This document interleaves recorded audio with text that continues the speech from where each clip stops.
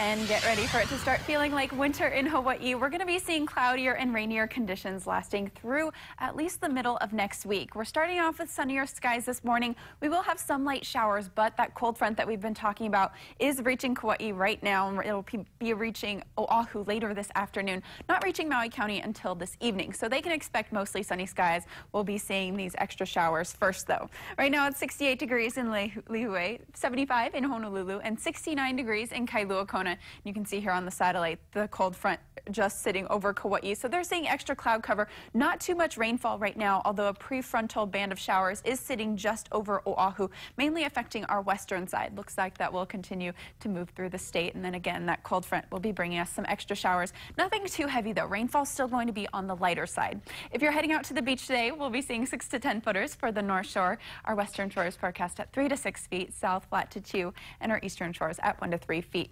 Partly cloudy skies today, and our winds ahead of the front, southwesterly. So that means they are on the lighter side. It will be a bit foggier and hazier through today, but once that cold front passes by, we are expecting northerly winds by tomorrow, so that will be kicking out the fog. It looks like cloudy conditions through this weekend, some extra rainfall coming through as we are expecting another front to be moving through at the beginning of next week.